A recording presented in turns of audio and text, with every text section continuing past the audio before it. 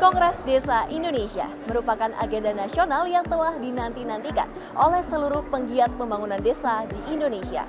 Diselenggarakan selama tiga hari, mulai dari 22 sampai 24 Maret 2024, bertempat di Kartika Chandra Hotel, Jakarta, Indonesia, dengan merajuk semangat Desa Bersatu Indonesia Maju.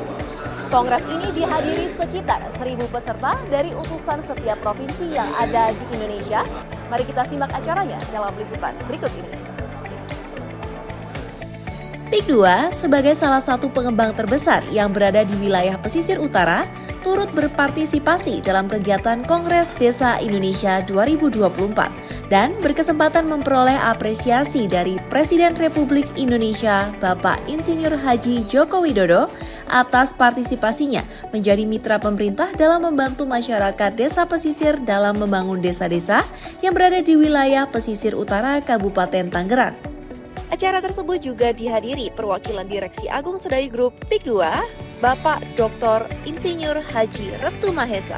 Kita memiliki kekayaan alam yang melimpah di laut, tambang, perkebunan, segala macam ada.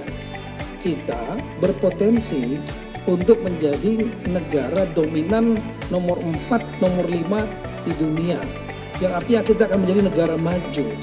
Kita harus mendorong semua potensi kekuatan yang ada untuk ekonomi. Di antaranya adalah membangun secara merata kota dan desa.